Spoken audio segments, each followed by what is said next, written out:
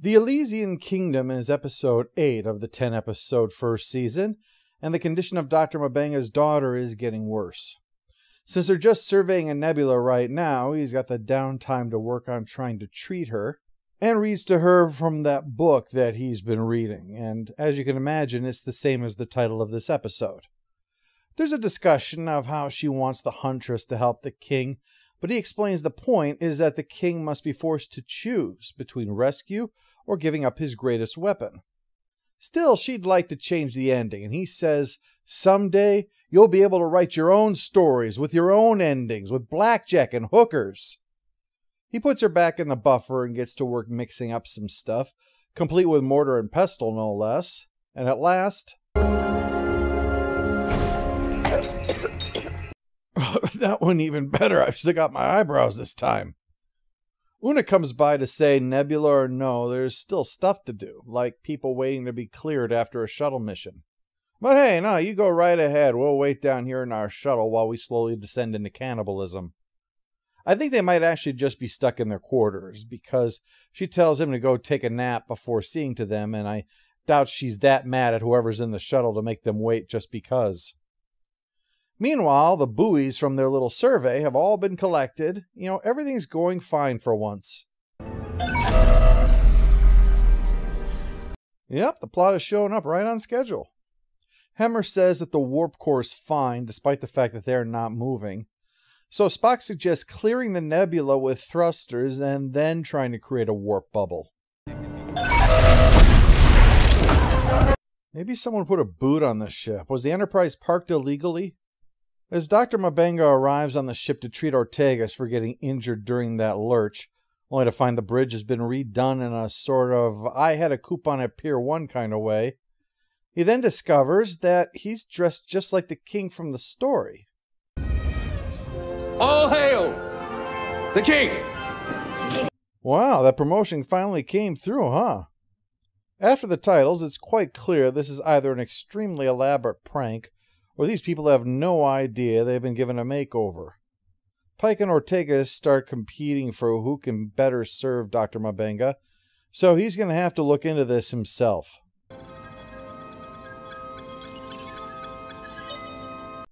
I can't really argue with that. That is what I've come to expect, really. Dr. M'Benga rightly surmises that if either everyone's out of their mind or just me, play the odds and assume it's me.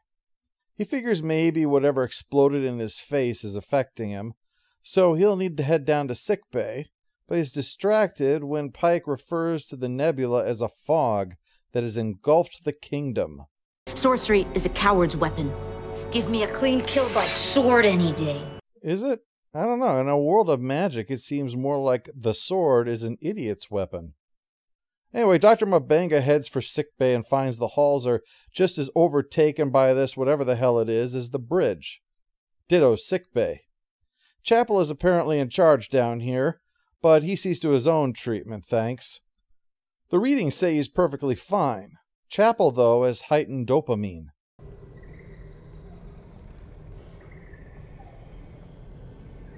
Yeah, the word dope definitely springs to mind.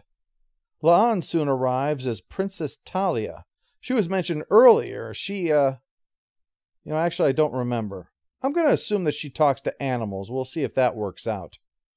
Queen Nev, the baddie, has invaded La'an's kingdom looking for the Mercury Stone. And imprisoned my subjects. I mean, I scarcely escaped with my life, not to mention my poor little Wunda. Isn't that That's, uh, Oh, I mean, if she's that's just terrible. You know, I'm technically right that she talks to animals, but I have a feeling the spirit of my guess has already been disproven. She says that he needs to use the Mercury Stone to stop Queen Nev, or they're all doomed. My king, the princess is right. If you are not prepared to use the power of the stone, then allow me to lead an attack against the Crimson Guard. What happened to sorcery being a coward's weapon? Field Marshal Haig is most anxious to eliminate all these German spies. Filthy Hun weasels fighting their dirty underhand war. Unfortunately, one of our spies. Splendid fellows, brave heroes. Keep in mind that only looks like Ortega, so I can criticize her all I like. Meanwhile, the Crimson Guard are dragging Hemmer through the halls, and that really is Hemmer. He knows who he is and has no idea what the hell is going on around here. They seem to think that he's a wizard and plans to do him in. And while Dr. M'Benga tries to use book lore to defeat them, the Crimson Guards say that Queen Nev, uh, shocker, no longer follows the rules. Well, there's nothing that Dr. M'Benga can really do about that right now. Even leaving aside the numbers, this fantasy is utilizing the bodies of the crew. Kill those guards, and you've murdered three members of the crew. And that's not going to look good on any doctor's record, with the possible exception of Phlox. Queen Nev will be keeping Wizard Castor here, in the deepest part of her dungeon, at the center of a realm surrounded by her most powerful forces and weapons. Right, plus you've got to be lucky when you roll for initiative. La'an thinks that an attack would be suicidal, and Pike suggests diplomacy with the evil master of the dark arts. Ortegas is all in favor of fighting. Thank you, sire. Starfall is thirsty. A ridiculous name for a sword. It is. Look, don't get mad at me. It is a stupid name. I didn't write the episode any more than I picked out La'an's outfit. I will sing an epic song. I'm not saying that I wouldn't have chosen it. I'm only saying that if I had my way, the sword wouldn't have a name at all, and La'an could talk to animals. Anyway, Dr. M'Benga intends to use diplomacy to start, and Pike and Ortegas will escort him.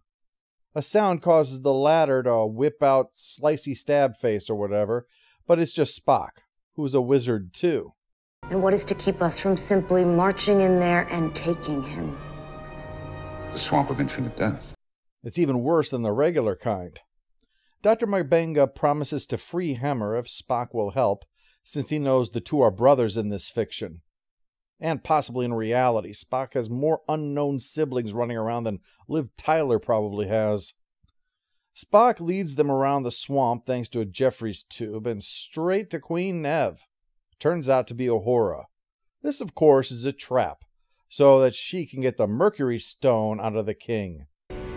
Fine. Let my torturers drag its location out of you then. They love their work. They're very thorough. You know, given the context, it's probably Kirk singing Mr. Tambourine Man. They get tossed into the dungeon, aka the transporter room, with Hemmer. So that part of the mission is a success. They're all playing characters from a children's book called The Elysian Kingdom. Yeah, you might have noticed in the beginning that the book's cover doesn't match that. But uh, you know what? I do think that the book's cover actually sounds and looks more like a children's book should. Anyway, Hemmer says that he was in engineering when this whole mess happened. He felt a consciousness press against his own, but his telepathic experience blocked it. Hemmer thinks that whatever the source is is in the nebula, not on a ship in the nebula, actually in the nebula.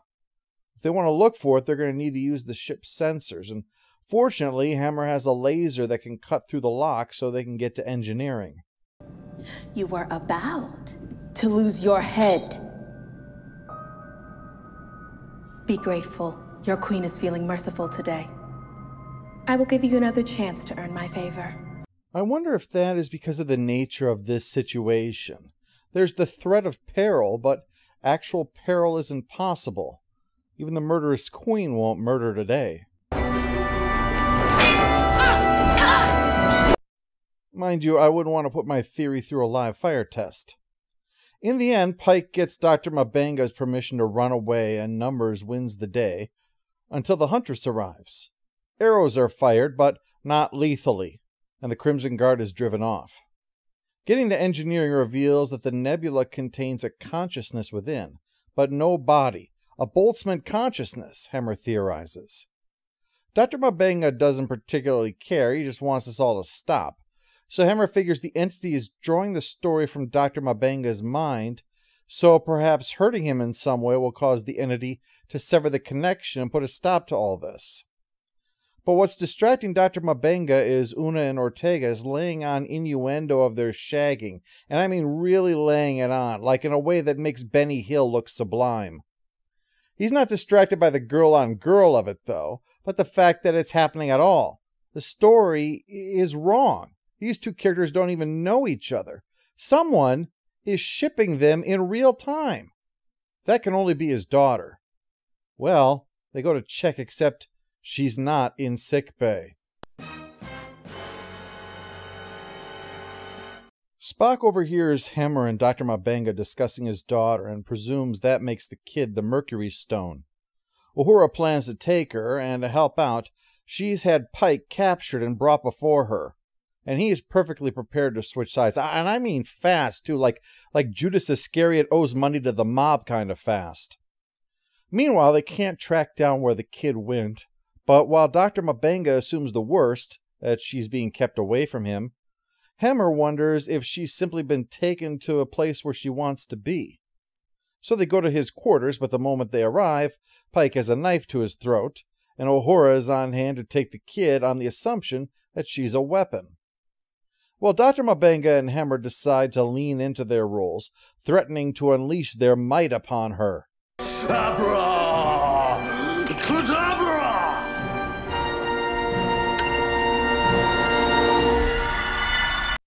Nice, but was there any particular reason you drew that out, or did you just really like hamming it up? Well, the kid is indeed in there, all done up like a princess, and more importantly, cured. Her friend did it, she said, the one who made this story for her. Well, her father says it's been fun, but this has got to stop. People are getting hurt. Hemmer volunteers to let the entity speak through him so this can all get straightened out. Well, the entity is really all, you were a shit dad at him, not getting why she was in the buffer this whole time.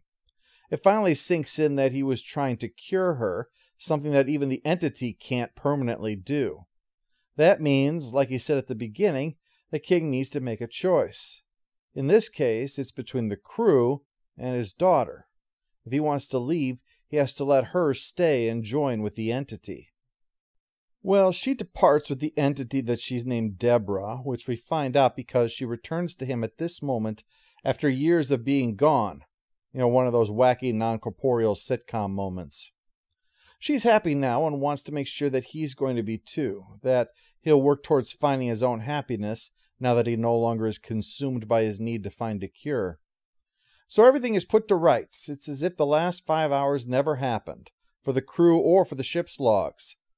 But he does finally tell what happened to Una as the story ends and we can finally use the transporter the way it was actually supposed to be used for hiding weed. Continuing from the last review, the Elysian Kingdom is fine. It's an excuse to put everyone in costumes and let them put on a pantomime, the same way that our man Bashir put everyone in costumes to act out James Bond. It's an unexpected way to resolve Dr. M'Benga's personal plot, but it's fine.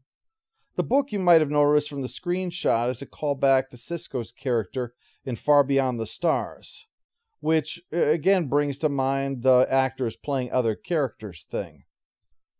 What thinking upon these two episodes does for me, though, is reveals why this comes across as just fine. Dr. M'Benga doesn't feel like he's learning things about himself along the way, or that this reflects character stretching beyond what we would normally see from him. It's great that he and Hemmer both get a prominent role here, but look, let me reiterate it's fine.